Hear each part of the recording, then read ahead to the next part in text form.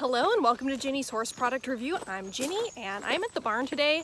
I just pulled in and Mule Pancake's boyfriend was as far away as from her as he possibly could be and I pulled in and I was like, oh no, like if you're following my journey, you know that she's totally attached to this horse Sam in the neighboring pasture and if he's far away, she's like pacing the fence line like a loon uh, and being like super hormonal. But I came out today and he's really far away and she's just hanging out and grazing out there. So this might be a little ambitious. I got my tack. I've had this horse in North Carolina, or I'm sorry, I've had this mule in North Carolina for almost three months. I haven't ridden her. We've just been like hammering out all this like um, groundwork and things like that. And I've done a little clicker training, just trying to really gain her trust. She's had this weird hormonal stuff going on. So I've got my tack out today.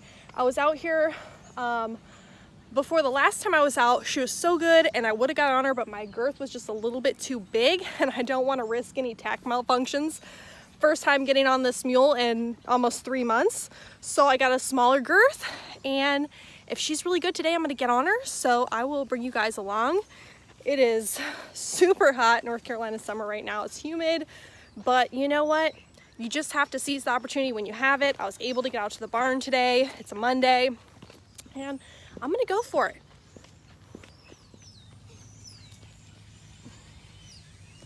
Pancake, are you ready to go?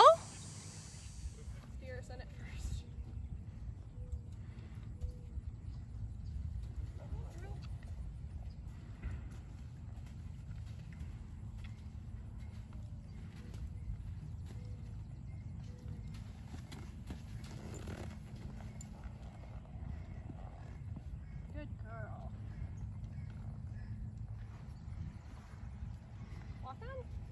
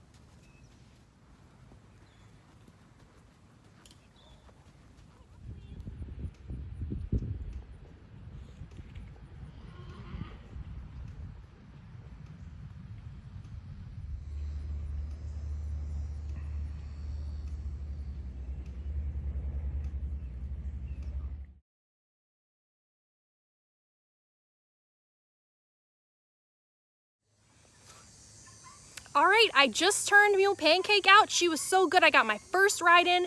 Since I've had her in North Carolina, if you're following my journey, you know that we've had some ups and downs.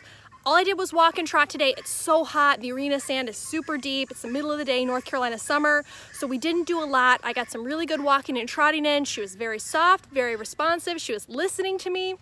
And I quit on a good note. I, I wanted to be greedy and do a little bit more, but I was like, you know what? It's hot. She's been so good. Um, so I quit. We I just turned her out, and she was. I'm I'm just super excited. As you can see, I could not be happier with how it went, and um, hopefully it's just upwards from here, and we'll just keep on working with her. If you've been watching my videos, you know that I've done a little bit of clicker training with her. That's I think been super helpful because now that she knows the click as a bridge signal and it means like you're doing something right, um, it allows me to let her know when she's doing the right thing. So I think that's been really good for just increasing the communication between us. And I just could not be more excited with how today went. I'm just thrilled. And, um, you know, I hope you guys want to join us for our journey and see where we go next. So I hope you guys are having a great time with your horse or mule or donkey. And until next time, happy trails.